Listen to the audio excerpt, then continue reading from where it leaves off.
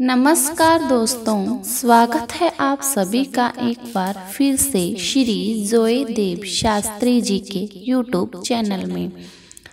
आज हम बात करेंगे दूध के कुछ टोटके।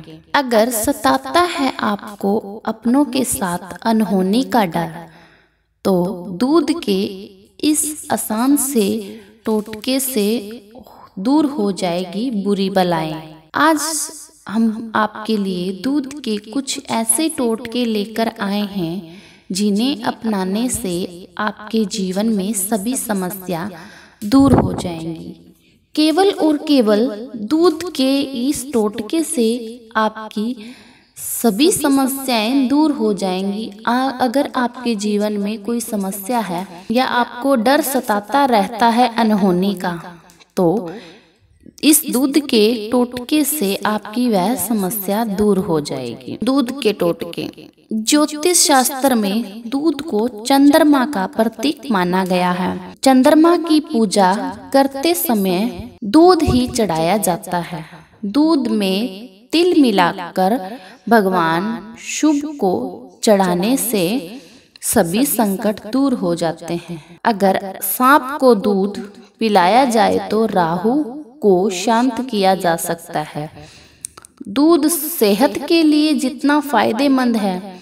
जैसे कि हमने बहुत बार सुना है, या हमें पता भी होता है कि हम रात को दूध पीते हैं या सुबह दूध पीते हैं और अपने बच्चों को भी दूध पिलाते हैं।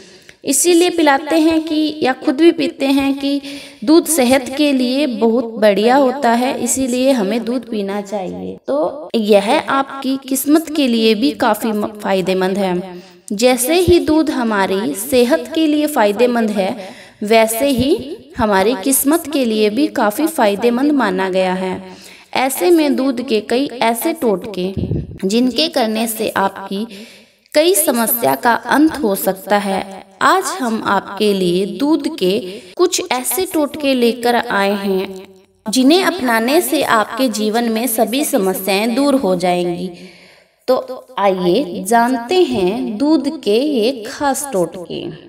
दूध के टोटके, अगर आप अमीर बनना चाहते हैं, क्योंकि अमीर बनना हर किसी की ख्वाहिश होती है तो अगर आप भी चाहते हैं कि मुझे अमीर बनना है तो रविवार के दिन रात के सोते समय एक गिलास दूध भरकर अरने सिर के पास रखें और सो जाएँ। ध्यान रहे कि दूध गिरना नहीं चाहिए। अगले दिन सुबह इस दूध को बबुल की पेड़ की जड़ में डाल दें। इसे हर रविवार को करें। इसे करने से आपके सभी काम बन जाएँगे और आपके पास पैसे आने लगेंगे। आपको जो दूध सिराने रखना है, उसको सुबह बबूल के पेड़ की जड़ में डाल देना है। इससे आपकी जो समस्या है और जो आप अमीर बनना चाहते हैं, वो आपकी समस्या दूर हो जाएगी और आपके पास पैसे आने भी लग जाएँगे और रुकने भी लग जाएँगे। कई बार ऐसा होता है कि हम पैसे तो बहुत कमाते हैं, लेकिन रुकते नहीं हैं। तो ऐसा करने से आपके पास पैसे रुकने भी लग जाएँगे और आपके हर जगह से काम बनने लग जाएँगे। तो पैसा आने लगेगा तो आप खुद ब खुद अमीर बनने लग जाओगे। तो ये उपाय आप ज़रूर कीजिए। और अगर आपके मन में अपने घर के सदस्य को लेकर बुरे ख्याल आते हैं और घर के किसी सदस्य का बार बार एक्सीडेंट होता है तो इसके लिए शुक्ल पक्ष के पहले मंगलवार को दूध से चावल को धोकर दूध को नदी या झरने में बहा दें। सात मंगलवार तक इस उपाय को करने से एक्सीडेंट बंद हो जाएगा। अगर आपकी कुंडली में कई ग्रह बुरा असर डाल रहे हैं तो इसके लिए सोमवार के सुबह जल्दी उठकर स्नान करें और शिवलिंग पर कच्चा दूध चढ़ाएँ। इसे लगातार सात सोमवार तक आपको करना है। ये करने से आपकी सभी मनोकामनाएँ पूरी हो जाएँगी। साथ ही कुंडली में जो ग्रह दोष है या ग्रह बुरा असर डाल रहे हैं, वो भी दूर हो जाएँगे या टल जाएँगे।